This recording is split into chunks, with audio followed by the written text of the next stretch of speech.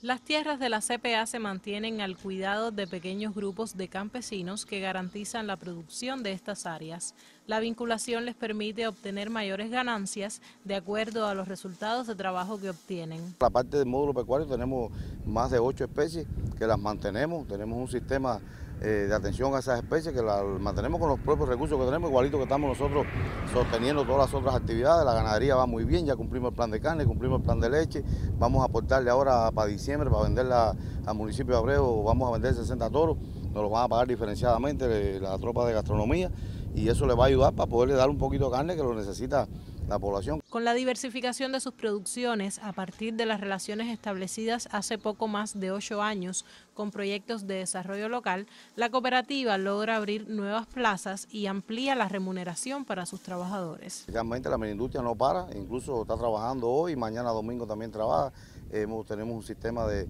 vinculación, eso es un área también vinculada donde las compañeras, las operarias están alrededor de los 14, 15 mil pesos mensual, por lo tanto está generando un nivel de, producción importante y bueno, tuvimos la situación con la azúcar, pero nos viramos para los esterilizados, para los incurtidos y no nos paramos, por lo tanto estamos buscando alternativas, que es lo que nos está pidiendo hoy el país, nos pide en este momento histórico que estamos viviendo, que es luchar y guapiar con lo que tenemos y buscar eh, el, desarrollo endógeno que tenemos nosotros y las capacidades de cada uno de los lugares. Asimismo, se mantienen con resultados relevantes en la casita infantil, que en materia social representa un gran avance para las madres trabajadoras de la zona. Estamos todos vinculados de cierta manera hasta el personal en directo, que nos hemos quedado bien reducidos porque el personal en directo realmente no, no, genera producción, pero también es necesario que exista un grupo de ellos para controlar todo lo demás y asesorar, que es lo que estamos haciendo hoy a todas estas áreas para que no caigan en una situación compleja, porque no todos son economistas, no todos conocen de eso uno tiene que guiarlo muchas veces para que no vayan a tener una situación compleja. Quiere decir que hay un nivel de motivación tanto en el pueblo